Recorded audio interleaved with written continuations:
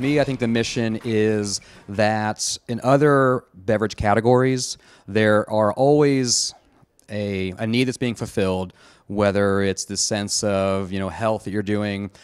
One aspect that I think occurs in every other beverage category right now is refreshment. The idea of a refreshing version of something. So a light beer is refreshing uh, a spritzer wine is refreshing, but coffee doesn't seem to have that refreshing version yet, and Sofee can help fulfill that need. So Sofee is a carbonated cold brew coffee, which is different than those that are either flat or nitrogenated. So it actually does have that effervescence to it, and that in, its, that in itself is what does make it different. That it has a different mouthfeel to it as well. Now, while there are a couple of other sparkling coffees on the market right now, what is also different about Sofee is that it's not preserved. Now, it does have six months of shelf life, but the other brands that are out there at present actually do have some sort of preservative in it.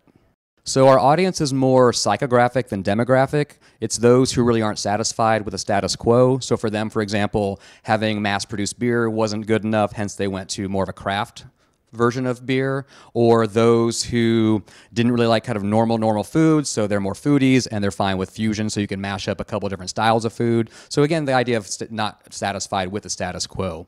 And now, how we can kind of quantify that is the idea that there are those out there who, for example, will drink sodas but are trying to trying to get away from sodas because of the uh, the sugar content. So this could be a potential replacement for them. Another trend that is out there that we're seeing is the idea of having a more natural version of an energy drink versus those that may have some sort of a chemical to give you the energy that you look for. And caffeine, obviously coming from coffee, is just a very natural way. So we know those those those audiences are out there and they exist, and we're going to tap into those been doing this for a little less than a year right now, and I'm about to take on the first round of funding as a friends and family piece to get that uh, that funding in. And recently just landed Gelson's as the first major retail account, so they'll be carrying it in all 27 of their stores. So I think the biggest learning I've had in the beverage industry itself is that the response has been positive for you know when I go into retailers or bars and the buyers you know give a good response to it.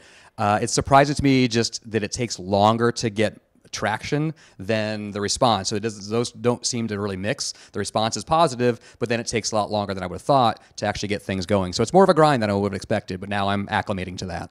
So for me, one of the interesting or different things I think about how I look at this business is I'm going to follow more what I call like a gypsy brewing model, which is similar in the beer industry, where you don't necessarily build a brewery, but you go into a brewery to make your product. So I've got some alignments with different breweries throughout the country that I can go into and make Sofee there, so it stays local, stays fresh. So what I'll need to have is that partner who can be agile enough uh, with me to be able to say, all right, let's go ahead and jump into that market now and get the canning line and build from there. I think that answer is twofold. On the first part of it, it's that you know as i mentioned earlier every category kind of has that that refreshing take on a beverage. So this idea of having a carbonated cold brew to actually fulfill that need is something that's out there that is a need to be fulfilled. So there's an opportunity for that. That's the first aspect. The other is less about the product and more about the brand.